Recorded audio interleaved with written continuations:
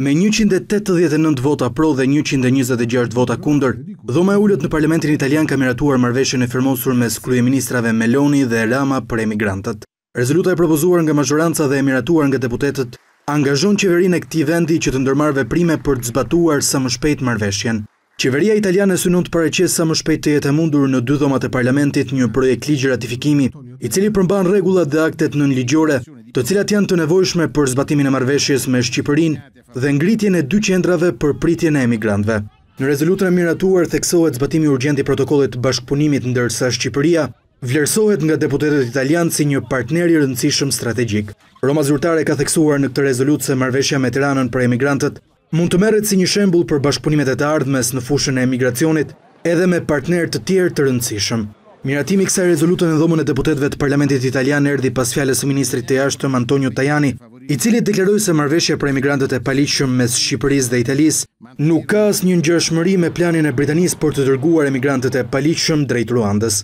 Ndërkohë, Kuvendi i Shqipërisë ka caktuar datën njëzet e një dhjetor për të kaluar në seancë marrëveshjen mes Shqipërisë dhe Italisë.